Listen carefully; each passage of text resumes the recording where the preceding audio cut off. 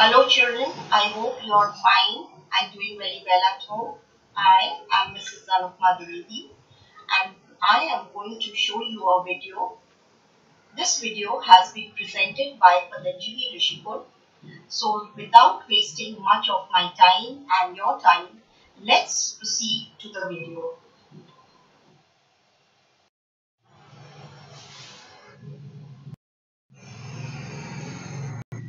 Government Part 2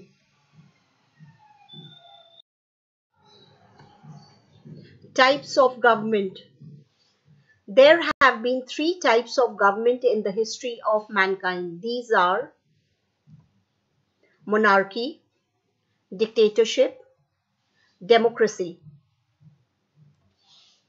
Monarchy In monarchy, a monarch has the absolute power to run the country. When the monarch dies, the power automatically passes to the eldest child, usually the eldest son of the monarch.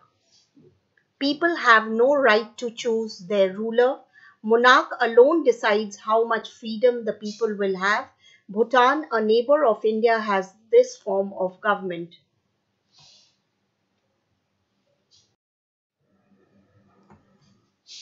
Dictatorship in dictatorship, all the power rests in the hands of one person or a small group of people. Such power is often obtained by force. People who challenge a dictator are punished severely. The government rarely gives freedom to the people. Pakistan has for long periods in the past had this form of government. Democracy. The most popular form of government is democracy, in which people have the ultimate power to govern themselves. Each adult has the right to vote. The biggest advantage is that the people have freedom. Democracy may be direct or representative. In direct democracy, every adult citizen votes on every issue on which a decision is to be taken. This system can only work in a country with a small population. In most countries of the world, there is what we call representative democracy. In this, the people elect their representative who take decisions on their behalf. India and USA have this form of government. Representative democracy can be of two types. It can be parliamentary system in which the government is actually run by a prime minister and other ministers who are members of the parliament. Otherwise, it can be a presidential system in which a president is independent of legislature heads the government.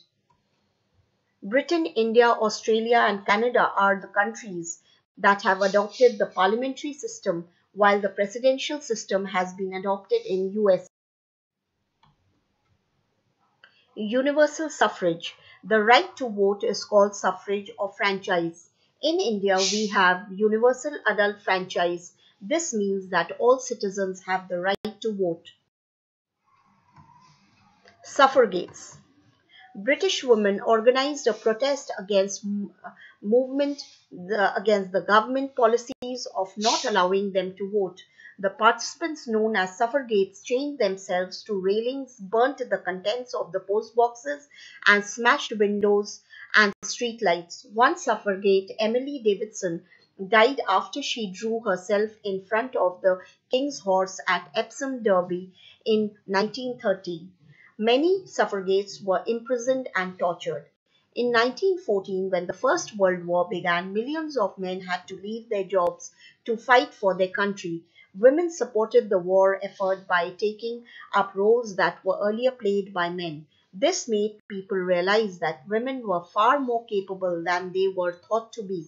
The suffragettes too decided to protest uh, any more till the war was over. They were rewarded in 1918 when women aged over 30 got the right to vote. Finally, in 1928, British one women won the right to vote on equal term with men. In USA, women are given the right to vote in 1920 franchise and the Indian constitution. Right from the beginning, that is from the time our constitution came into force, all Indian citizens have had equal voting rights without any distinction between rich and poor, men or women. Thank you for listening to the video.